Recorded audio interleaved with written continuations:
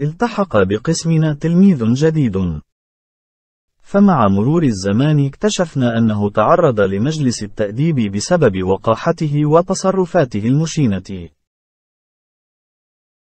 فهو بحاجة إلينا ليبدأ صفحة جديدة. وهذه رسالتي قد ترده للطريق الصواب. أهلا ومرحبا بك في مدرستنا. بين أصدقائك الجدد. أعلم أنك تعرضت لمجلس التأديب. عليك يا صديقي بالجد والاجتهاد وأن تركز في دراستك.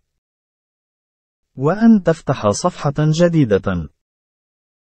وتترك كل التصرفات السلبية التي تلهيك عن الدراسة وتسبب لك المشاكل. أنت هنا في المدرسة من أجل الدراسة لا لافتعال المشاكل. فكل التصرفات السيئة التي أدخلتك إلى مجلس التأديب كنت قادرا أن تتجنبها. وتكون قدوة حسنة لغيرك. الوقت لم يفوتك لتتدارك أخطاءك. وتسلك طريق الصواب.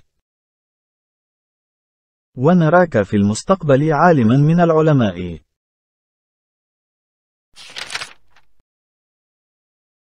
وفي الأخير شكرني التلميذ على نصائحي. ووعدني أن يكون مثالا يقتدى به.